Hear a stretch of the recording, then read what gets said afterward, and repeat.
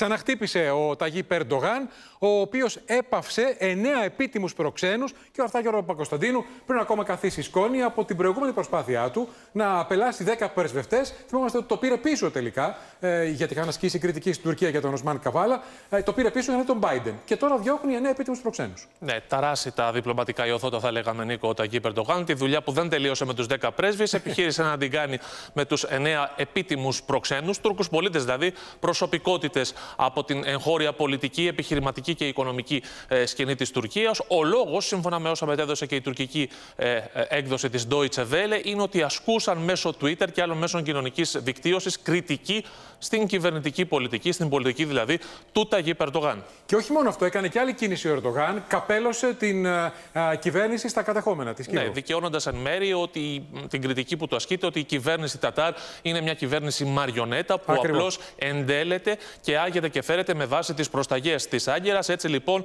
τοποτηρητή, ε, κυβερνήτης, έπαρχος θα λέγαμε των ε, κατεχομένων, τοποθετείται ο Φουάτ Οκτάι, ο Τούρκος αντιπρόεδρος, καθώς ο Ταγί Περντογάν θέλει να, λέγα, θέλει να έχει, ε, θα λέγαμε, το κεφάλι του ήσυχο, γιατί έρχονται πολύ κρίσιμες ημέρες.